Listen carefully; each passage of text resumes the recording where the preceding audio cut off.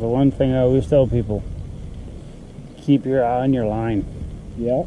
Even if you're using baits that have a jig head on anything, if it's heavy or not, fish can pick it up and swim towards you or swim out to the side. Mm-hmm.